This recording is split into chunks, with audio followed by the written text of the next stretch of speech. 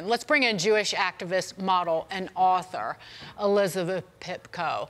Elizabeth, what is astonishing? Anti Semitism um, has been on the rise coming out of colleges. The number of Jewish students has been cut in half on Ivy League college campuses in just the last decade um, as they focused less on merit, more on the amorphous equity. But right now, you see these colleges more concerned about the doxing of anti Semites than the actual anti Semitism itself and the hatred towards Jewish students. You're right. You're right. The speech that you just showed from the professor, I saw it circulating on social media yesterday. It honestly brought me to tears. I really hope people understand more than anything how serious the situation is. He's not warning about bad grades or parties or the wrong classes, the usual things people should think about on college campuses. He's actually warning parents that their children will not be protected on these campuses from those who support terrorism. I really hope people understand how serious that statement was that I unfortunately had to make on television in 20 2023. The fact that we have gotten here is a low point in our country. I hope more than anything that people can admit that. And I hope this is a huge wake up call, like you said, to donors, to parents, to administrators, and to professors around the country. They have made a huge mistake and they must reverse course now.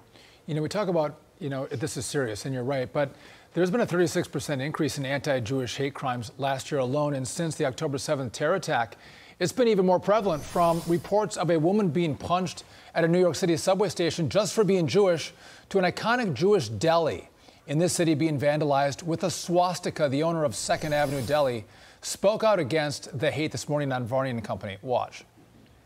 People are outraged. A swastika represents hate, hatred for Jews, and just hatred against humanity.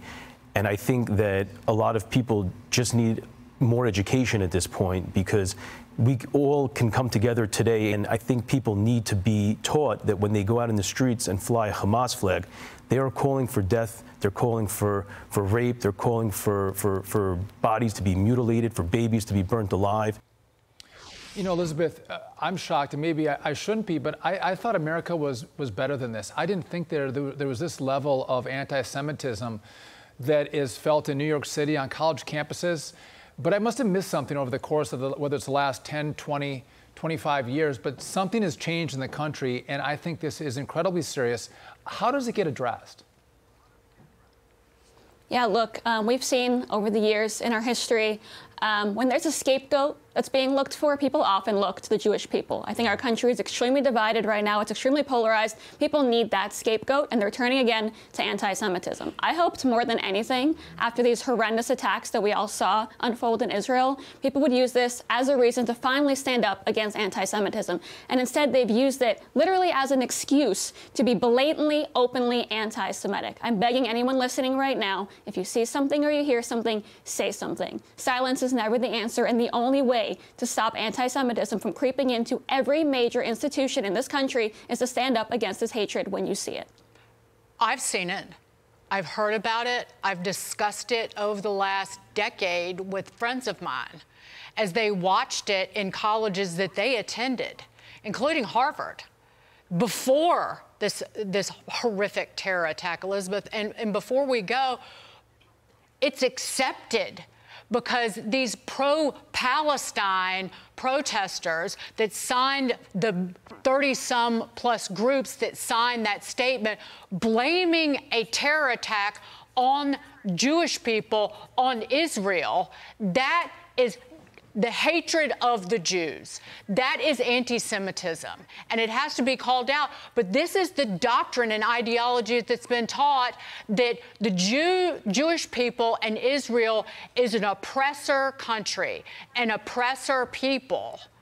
That this is what this is what it's all about. That that they're colonizers. This is Soviet propaganda that has been turned into lectures on college campuses. That has to stop. People need to be fired. You're exactly right. Exactly right. The fact that this is happening is only because people have not stood up over the years. I've said it. I'm so proud that you've said it. We've said it for years. This is being taught, it's being accepted on college campuses, and even in the halls of Congress or major institutions elsewhere for years now. I'm so glad that you said this is Soviet propaganda. My entire family fled the former Soviet Union just in the hopes that I would never have to see this in my lifetime. And the fact that I'm sitting here with you discussing the very same anti Semitic issues they faced back in Russia is absolutely horrific. The takeaway it's not just accepted on college campuses, it is taught on college campuses. Yes. Elizabeth Pipko, thank you for joining us.